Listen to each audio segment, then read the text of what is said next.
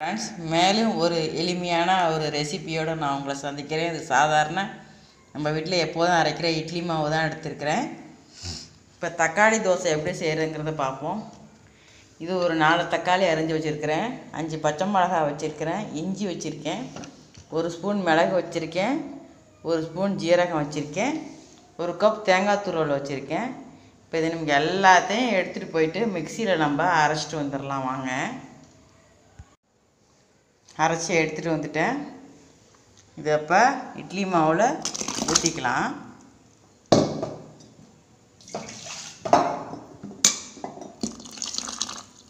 இப்போ நல்லா கரைச்சிக்கலாம். ஃப்ரெண்ட்ஸ் மாவை அப்படி கரைச்சிக்கணும் தக்காளி தோசைக்கு. தோசை மாவு பார்த்துக்கு.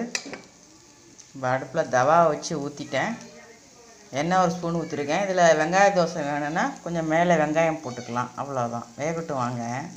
ஃப்ரெண்ட்ஸ் நல்லா பிரியுது. இப்படி போட்டுக்கலாம்.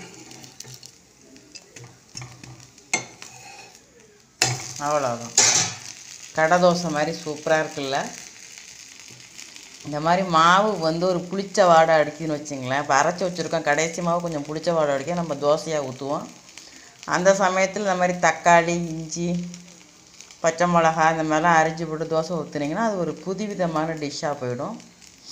நமக்கு சாப்பிட்றதுக்கும் ரொம்ப நல்லாயிருக்கும் பிள்ளைங்களும் ஏதாவது வித்தியாசமாக அம்மா செஞ்சு கொடுக்குறாங்கன்னு சாப்பிட்ருவாங்க இந்த மிளகு ஜீரகம் இந்த மாதிரி இஞ்சி சேர்கிறதுனால நம்மளோட உடம்புக்கு ரொம்ப நல்லது. இப்போ உள்ள வைரஸ் உள்ள காலத்தில் இந்த சாப்பாட்டில் நம்ம கவனம் செலுத்தணும். இஞ்சிக்கு அந்த வைரஸுக்கு ஆகாதுன்னு சொல்கிறாங்க மிளகுக்கு ஆகாதுன்னு சொல்கிறாங்க அடிக்கடி நம்ம சாப்பாட்டில் சேர்த்துக்கணும் ஃப்ரெண்ட்ஸ் வாங்க இப்போ ஒன்று ஒன்றா எடுத்து சுட்டு எடுத்துக்கலாம்.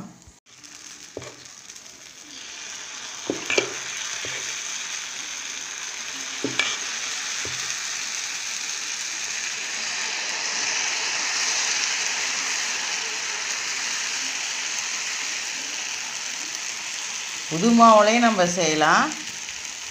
நம்ம வந்து பச்சரிசிலையும் செய்யலாம். பழைய புளிச்சு போன மாவு இருந்துச்சுன்னா அதுலேயும் இப்படி செஞ்சுக்கலாம்.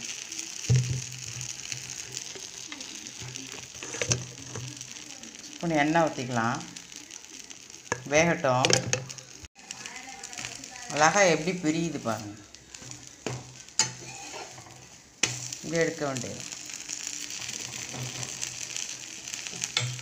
ஒன்று ஒன்றா சுட்டு இப்படி எடுக்க வேண்டியதான் பாருங்க ஃப்ரெண்ட்ஸ் தக்காளி தோசை ரெடி ஆகிட்டு எவ்வளோ சாஃப்டாக இருக்குது பாருங்கள் இது புது அரைச்ச மாவுலேயும் நம்ம செய்யலாம். நம்ம வந்து கொஞ்சம் பழைய மாவாக இருந்துச்சுன்னா கொஞ்சம் வாடை அடிக்கும் புளிச்ச வாடை. அப்போ இந்த டிஷ்ஷஸை நம்ம செஞ்சிடலாம். இந்த மாதிரி இஞ்சி பச்சை மிளகா தேங்காய் தக்காளி அரைச்சி ஊற்றுறதுனால வித்தியாசமான ஒரு வாசம் வரும்.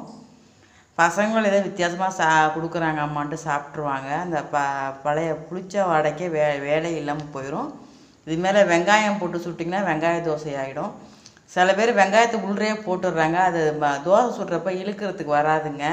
அது மாதிரி பண்ணாதீங்க. உங்களுக்கு வெங்காய தோசை வேணும்னா இந்த தோசையை ஊற்றிட்டு தக்காளி தோசையை ஊற்றிட்டு மேலே வெங்காயத்தை போட்டு மடக்கிடுங்க முட்டை தோசை வேணால் மேலே முட்டையை போடுங்க. சரிங்களா? அந்த மாதிரி கலக்கி ஊற்றிடாதீங்க சரிங்களா? என்னோடய சேனலை பார்த்ததுக்கு ரொம்ப ரொம்ப நன்றி ஃப்ரெண்ட்ஸ் ஆனால் எல்லோரும் வீடியோவை பார்க்குறீங்க. ஆனால் யாருமே பெல் அமுக்க மாட்டேங்கிறீங்க. அது ஏன்னு தான் தெரில. என்னோடய சேனல் உங்களுக்கு பிடிச்சிருச்சுன்னா ரைட் சைடில் உள்ள பெல் பட்டனை கிளிக் பண்ணுங்கள் ஃப்ரெண்ட்ஸ் என்னோடய சேனல் நீங்கள் பார்த்ததுக்கு ரொம்ப ரொம்ப நன்றி ஃப்ரெண்ட்ஸ் நீங்களும் பழைய மாவு இருந்தால் நீங்கள் ட்ரை பண்ணி பாருங்க பாருங்கள் ஃப்ரெண்ட்ஸ் வீட்டில்